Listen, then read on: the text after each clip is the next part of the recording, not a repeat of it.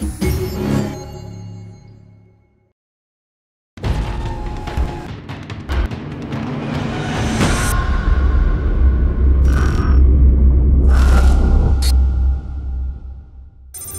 fight scene in the pool hall. Stephen Adelson, our director and executive producer, told me we're gonna have a fight scene. It sounded so exciting. I was like, yes! Because for me, I love that stuff. The way that he explained it, it was like, you're gonna break the cue and you're gonna do most of the fighting with the stick. And I did like a big rehearsal with the stunt guy. I did have my stunt double, Julia, with me. They did one or two angles with her and then the rest was me.